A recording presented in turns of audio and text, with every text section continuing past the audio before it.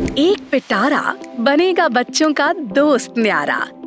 तीन से आठ वर्ष तक की आयु के बच्चों की शिक्षा के शुरुआती चरण के लिए नेशनल करिकुलम फ्रेमवर्क 2022 की रूपरेखा की गई विकसित, जो ज़ोर देता है खेल और कहानी आधारित शिक्षा पर। और वो भी अपनी मातृभाषा में। ये बच्चों की शिक्षा व्यवस्था को खेल की पाठशाला में बदलकर एक विराट बदलाव लाएगा और भविष्य की उस मंजिल की राह तय होगी, जहाँ शिक्षा का मतलब सिर्फ़ किताब नहीं होगी, बल्कि बच्चा तितलियों के पीछे भागकर और खेल कूद कर भी अपनी शिक्षक की सहायता से नई नई बातें जान पाएगा।